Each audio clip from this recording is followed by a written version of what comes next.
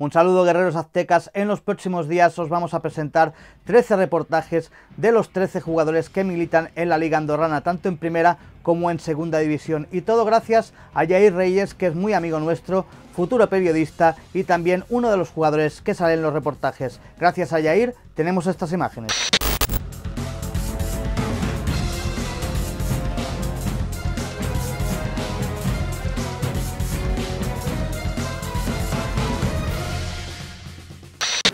Yo me llamo Diego Raúl de la Torre Romo. Este, nací en Guadalajara, Jalisco, el 15 de febrero de 1997 y juego de media punta, de enganche. ¿Cómo se da tu llegada a Andorra?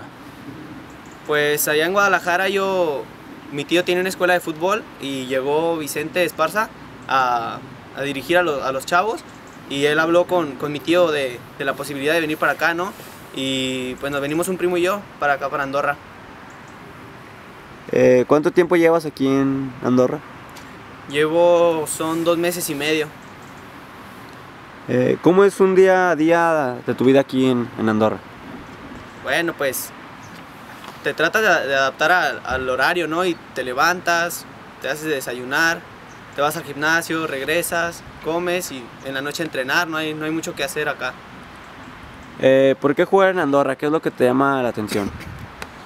Pues primero que nada es un sueño, ¿no? Un sueño que, que todos queremos jugar en Europa y, y, pues, pues también eh, llama la atención que los mejores equipos van, van a, a disputar un puesto para Europa League y Champions League. Segunda división juega, juega la Copa, que, que el que queda campeón de Copa va igual a Europa League. ¿Es tu primer torneo en Andorra? ¿Cómo ves el nivel en la liga? Sí, es, es mi primer torneo y en segunda división está, está bueno, ¿no? Está, está fuerte el nivel. Mm, Muy diferente a lo que, lo que es México, porque o sea, en México es un, es un, un fútbol más, más de contacto. Aquí te dan mucho tiempo para tener el balón, entonces eso ayuda un poco, ¿no? A, a, a tener el balón y a, y hacer lo que, lo que quieras. Eh, ¿Y qué tal te va en tu equipo actualmente?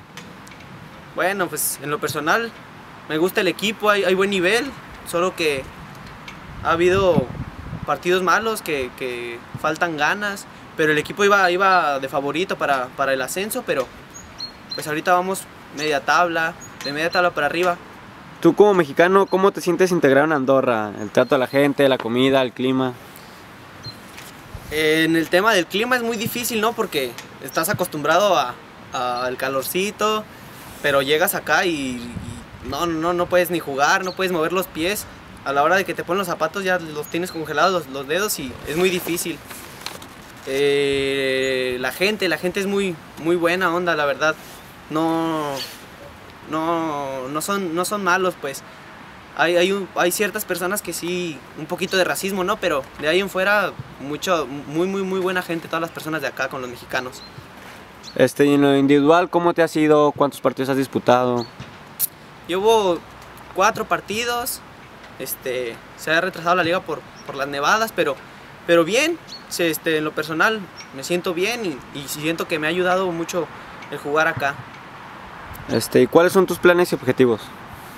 Bueno, primeramente terminar aquí bien el torneo, este, buscar un equipo mm, ya sea en otro lado o una primera división aquí mismo en Andorra, pero primero es, es este, sacar al equipo adelante, ¿no? Este, ¿y qué posibilidades tienes para destacar aquí en Europa? Bueno, siento que la cuestión es buscarle. También, o sea, la- las oportunidades llegan solas, pero también hay que poner uno de nuestra parte para, para buscar un buen equipo y pues no es imposible. Hay, hay buenas probabilidades. Este, ¿en qué equipo te gustaría jugar y por qué? Bueno, como el sueño, el sueño desde chico, ¿no? El Barcelona es un equipazo, es, es algo que, que todos quisieran, pero, pero el Atlas, el Atlas es uno de mis equipos favoritos para jugar y, y ¿por qué no, no? ¿Con qué jugador te identificas y por qué? Bueno, pues me gusta mucho, por mi posición, me gusta mucho el estilo de juego de, de Andrés Iniesta o, o de Tony Cross, que son unos jugadores que, de los pocos jugadores que han, que han hecho un partido al 100% sin errores, sin, sin, sin equivocar un solo pase. Entonces, pues por mi posición me gusta ser así un poco más inteligente y yo creo que con uno de ellos dos. Eh, y un saludo o mensaje que le quieras decir a tu familia y a todos los jóvenes que quieren llegar al fútbol profesional. Bueno, pues mi familia, pues agradecerles, ¿no? Porque es el, apoyo que ellos me han dado y, que, siempre han creído en mí, es lo que, hace que yo esté aquí, ¿no? Este, a mi novia, la quiero mucho, y, a los niños, pues primeramente a mi hermano, mi hermano que, es un, un crack, que nunca deje de soñar, a todos los chavos que nunca dejen de soñar y que si ellos creen que es posible, lo van a lograr. Nunca nada es imposible.